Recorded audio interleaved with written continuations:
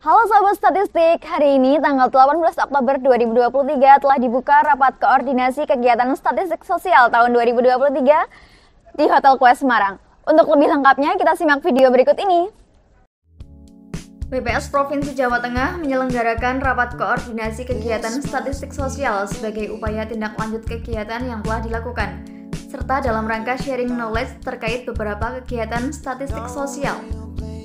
Kegiatan statistik tersebut bertujuan menghasilkan data yang dibutuhkan pemerintah untuk mengimplementasikan pembangunan nasional agar sejalan dengan rencana pembangunan jangka menengah nasional RPJMN tahun 2020 sampai 2024 dan tujuan pembangunan internasional atau tujuan pembangunan berkelanjutan SDGs.